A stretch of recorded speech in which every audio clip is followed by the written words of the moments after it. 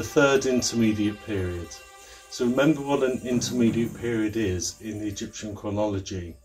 It's where there is no sole ruler of Upper and Lower Egypt. So the kingdom is divided by many rulers, all um, claiming to be um, the Pharaoh. Now, this period of time is 1069 BCE to 653 BCE. So between 416, 420 years.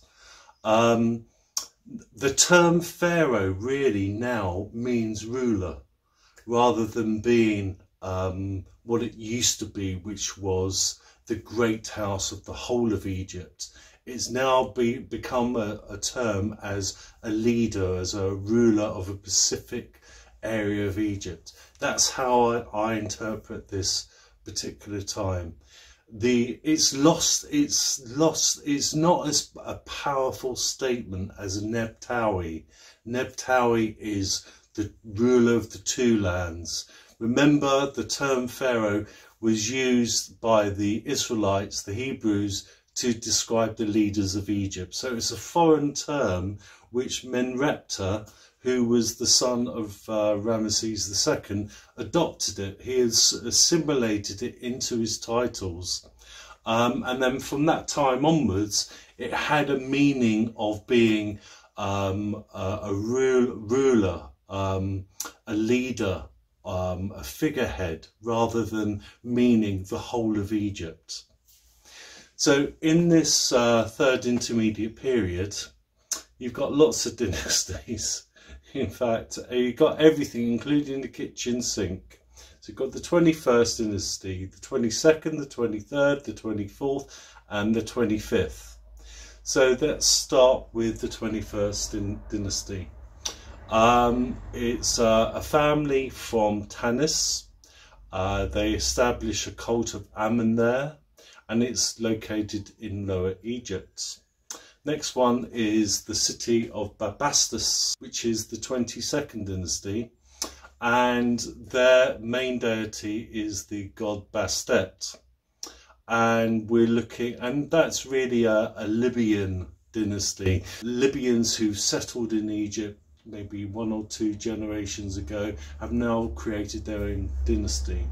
And these dynasties are all ruling at different times during this third intermediate period. Some overlap with each other, so sometimes you get two, three, or even four pharaohs ruling different little parts of Egypt. Then we come on to Heracleopolis.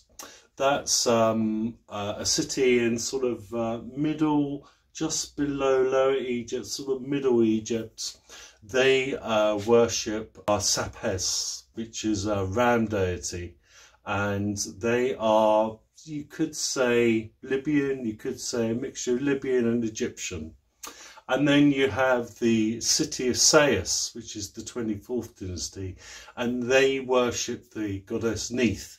And she's the one that has the, um, is represented by the red crown and that whirly bit that comes out of the crown is her fire, her power, her energy.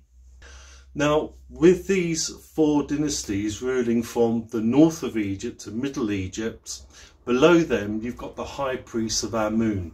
So remember they established themselves during the, the latter part of the 20th dynasty and many of them were generals in the army and they used the high priest of Amun as an oracle to give make laws. So remember, only Pharaoh and gods can make laws. So that's why they took over that role uh, uh, as high priest of, of uh, uh Karnak, because then that gave them the access to make laws. That was their mandate to rule uh, Upper Egypt and parts of Middle Egypt. The priesthood of Amun's authority is really from Elephantine up to sort of mid, most of Upper Egypt, parts of Middle Egypt, and then you've got the disputed territories. So from one reign to another, uh, a power can change backwards and forwards in Middle Egypt. But you've those that's the situation in, in the two lands. So most of these pharaohs are ruling from the north and parts of Middle Egypt, but the priesthood of Amun is there from 1080 BCE, so they've been around 11 years before this third intermediate period, and their power starts to wane around about 943 BCE. There is another dynasty, which is the 25th dynasty, the dynasty of Meroe, and I will de deal with that in a separate video because that's the Kushites. The Kushites have finally got organised and they go on the offensive. We'll deal with that later on. Now, in this third intermediate period with these uh, four dynasties, 21st, 22nd, 23rd, 24th, um, plus you've got the 25th, and then um, eventually get the 26th. Now, there are roughly 32 kings. So I'm going to just focus on the most notable of those kings in these different dynasties. So in the 21st dynasty, at Tanis, we have the First. He ruled Egypt for, well, he ruled his part of Egypt for 41 to 46 years. And he was looking out, uh, outside of Egypt from the north into what was happening uh, in the Canaanite, the Byblos areas, Syria. And he could see that the Assyrian Empire was on the rise. And it concerned him greatly. Then comes uh, uh, the king of Tanis, Amenemope, who ruled Egypt for nine years.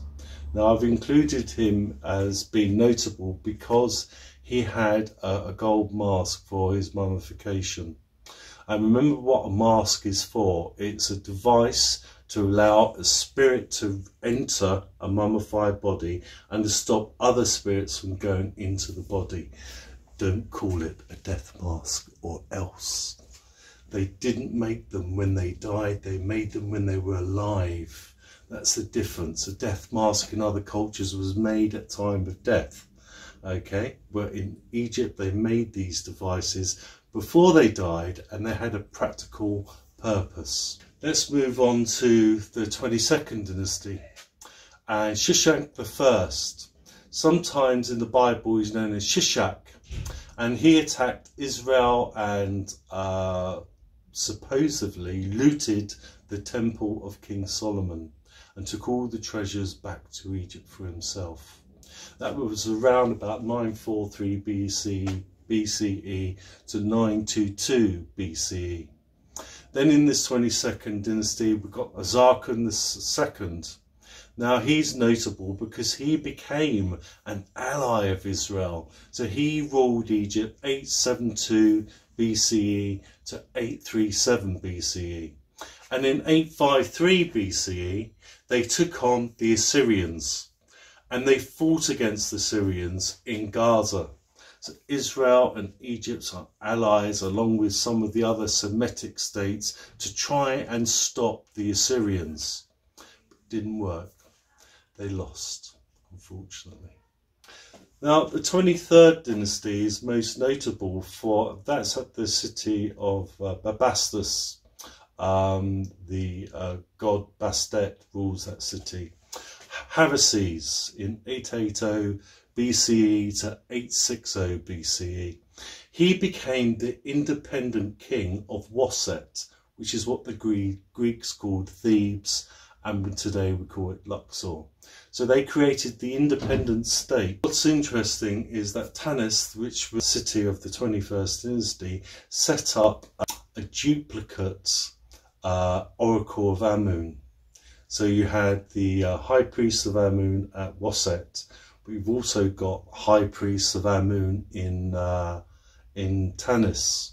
So Harsiese becomes the independent king of Waset, but there's also high priests of uh, Karnak being appointed by these northern kings. So they've ousted the long-standing uh, priesthood of Amun and are now appointing their own high priests in Karnak.